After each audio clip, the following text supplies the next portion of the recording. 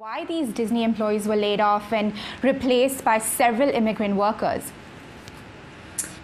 Well, it's a, a program that's going on across the country. Multiple hundreds of companies are doing the exact same thing.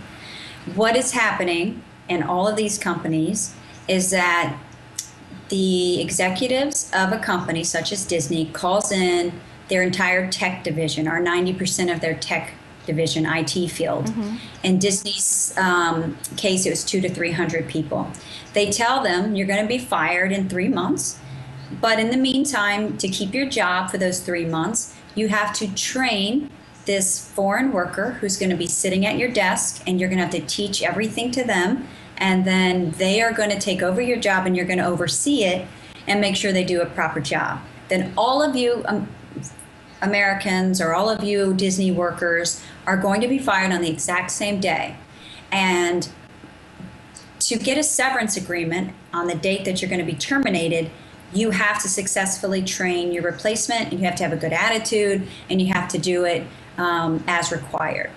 The difference between Disney and 95% of the other companies that are doing this is that 95% of the other companies, they call in their IT field and they say the exact same thing.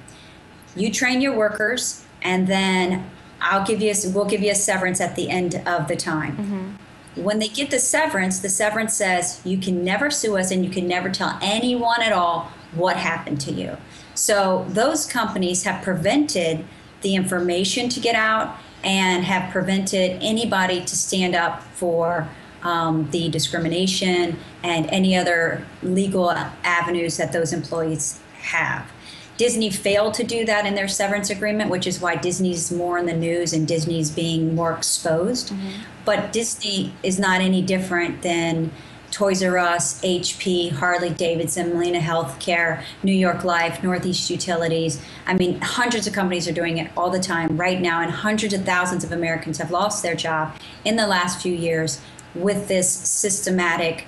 Um, uh, it's just kind of a program that these companies are doing. And there's actually uh, um, an organization that teaches these corporations and CEOs how to go about this. That's unbelievable. And where are these immigrant workers coming from? They're coming from India, Asia, sometimes um, various locations, but mostly India. Mm-hmm. Uh, most of the people coming in come in through H 1B visas. Mm-hmm. Sometimes they're in visitor visas, sometimes they're in L visas, uh, but most of them are in H 1B visas. Usually, what happens.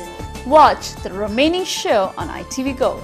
Subscribe to ITV Gold on Time Warner Cable Channel 1539. ITV Gold is America's first full-time television channel that caters to the South Asian community.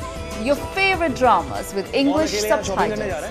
Watch movies, back-to-back songs, award-winning local news coverage and much, much more. Subscribe to ITV Gold on Time Warner Cable Channel 1539, part of the 8-channel combo pack for $39.95. And our East Coast viewers can also subscribe to ITV on RCN Channel 476 and Cablevision on Channel 1168.